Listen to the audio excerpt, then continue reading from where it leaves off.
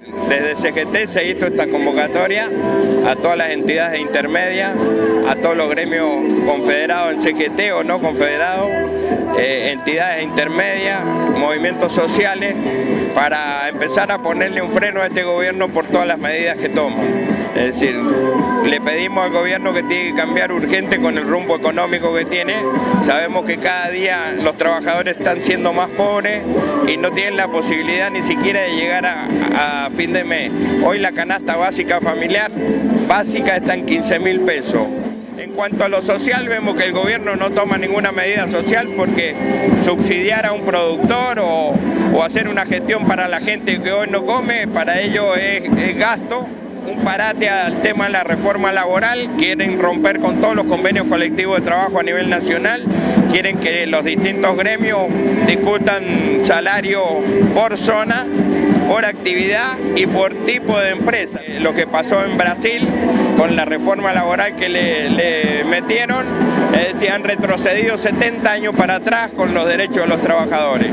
Hoy sabemos que nosotros en distintas oportunidades hemos querido juntarlo con la parte empresaria para eh, un poco ver las condiciones generales de trabajo de los distintos convenios y ha sido imposible.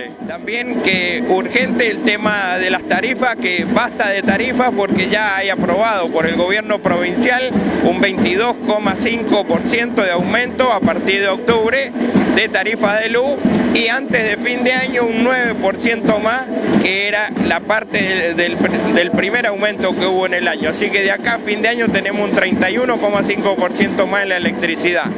Esta película ya la hemos visto, pero por ahí gobiernos anteriores eh, en 4 o 8 años hicieron todas las reformas. Este gobierno ya en 20 meses ya ha hecho más reformas que otros en 8 años todos los medios están con el gobierno, lamentablemente eh, le hacen escuchar a la gente y ver lo que el gobierno les dice que, tienen que eh, poner en los programas, entonces si salimos a la calle y nos manifestamos de esta forma, creo que no van a poder tomar las medidas que quieren tomar.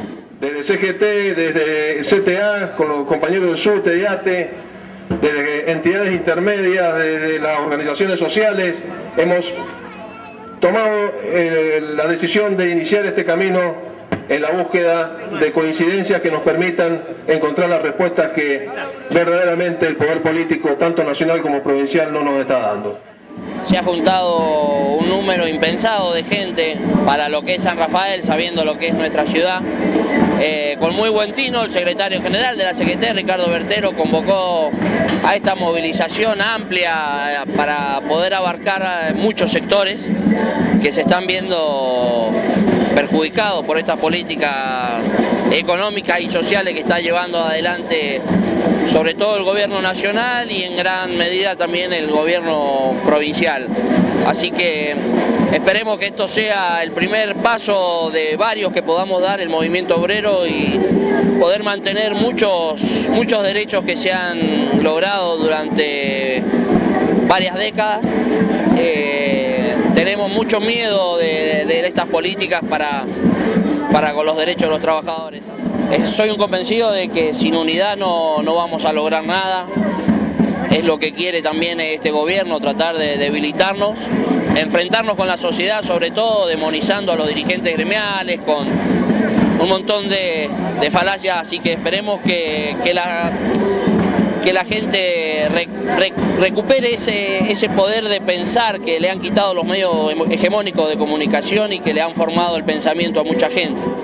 Estamos aquí porque realmente estamos sufriendo lo que todo el pueblo argentino está sufriendo, los ajustes.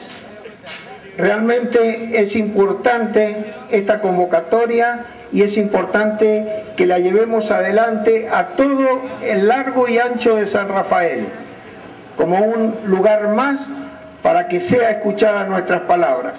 Nosotros como jubilados y pensionados autoconvocados de San Rafael estamos luchando por nuestros derechos.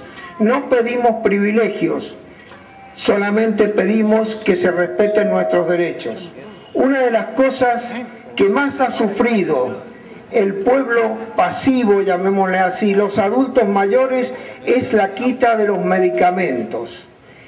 Esto es un derecho que tenemos, lo tenemos pagado, porque lo hemos pagado durante más de 30 años en nuestra actividad laboral en cada uno de los gremios, en cada una de las actividades.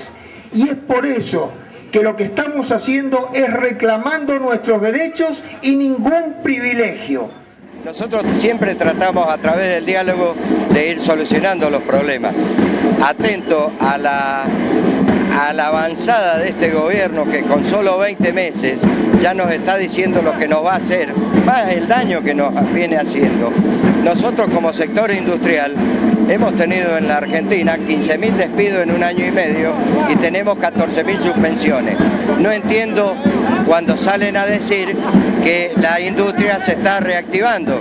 Este modelo que es perverso, yo creo que los únicos que podemos modificarle el rumbo al presidente de la nación, a este gobierno, somos los trabajadores unidos y organizados.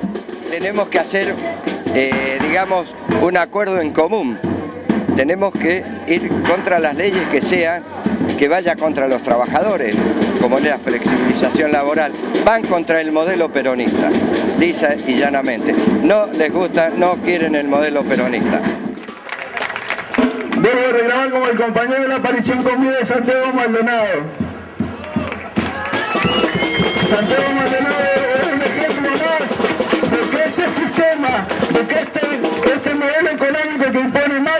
nacional y impone Cornejo a nivel provincial no cierran sino con represión.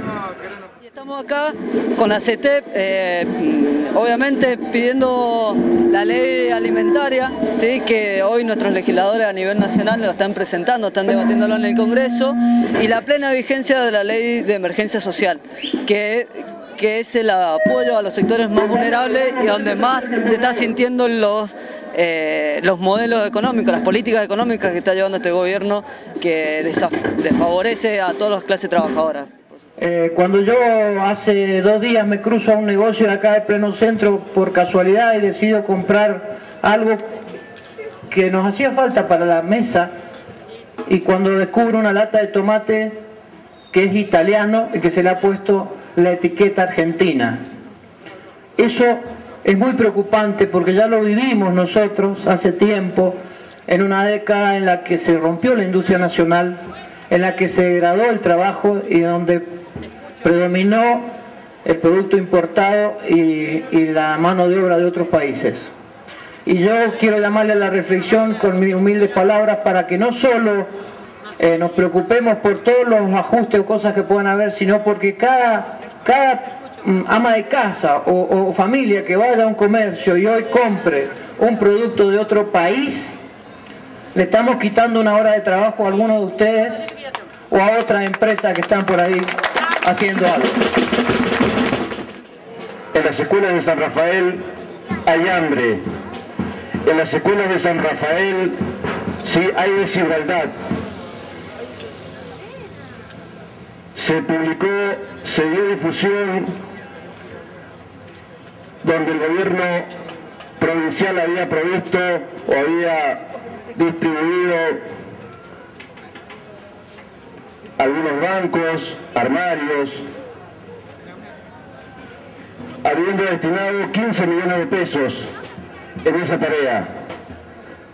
En las escuelas está haciendo falta pan, leche, está haciendo falta poderlos contener, poderles dar el alimento, la copa de leche que se les está sacando, se les está enviando la misma cantidad de recursos desde el año pasado.